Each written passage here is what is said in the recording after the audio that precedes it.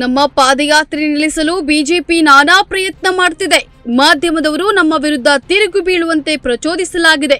BJP ವಿರುದ್ಧ ಕಾಂಗ್ರೆಸ್ ಉಸ್ತುವಾರಿ ರಣದೀಪ್ ಸುರ್ಜೇವಾಲಾ ಆರೋಪ. ಮುಂಬರುವ ಎಲೆಕ್ಷನ್ನಲ್ಲಿ ಭಾರತ ರಾಷ್ಟ್ರ ಸಮಿತಿ ಜೊತೆ ಮೈತ್ರಿ. ರಾಜ್ಯದಲ್ಲಿ ಪಕ್ಷ ಸಂಘಟನೆ ಬಗ್ಗೆ ಚರ್ಚೆ ಮಾಡ್ತಿದ್ದೇವೆ.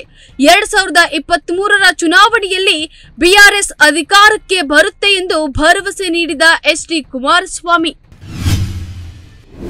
ಕಾಂಗ್ರೆಸ್ ಪಕ್ಷ ಸಂಘಟನೆಗೆ ಪಾದಯಾತ್ರೆ ಮಾಡ್ತಿದ್ದಾರೆ. ಸೋನಿಯಾ ಗಾಂಧಿ ಭೇಟಿಯಿಂದ ಏನು ಇಂಪ್ಯಾಕ್ಟ್ ಆಗಲ್ಲ, ಸಿಎಂ ಬೊಮ್ಮಾಯಿ ಹೇಳಿಕೆ. ವಿಶ್ವವಿಖ್ಯಾತ ಮೈಸೂರು ದಸರಾಕ್ಕೆ ತೆರೆ. ಆಚರಣೆಯ ಖರ್ಚು ವೆಚ್ಚದ ಲೆಕ್ಕ ಶೀಘ್ರದಲ್ಲೇ ಜನರ ಮುಂದಿಡಲಾಗುತ್ತೆ.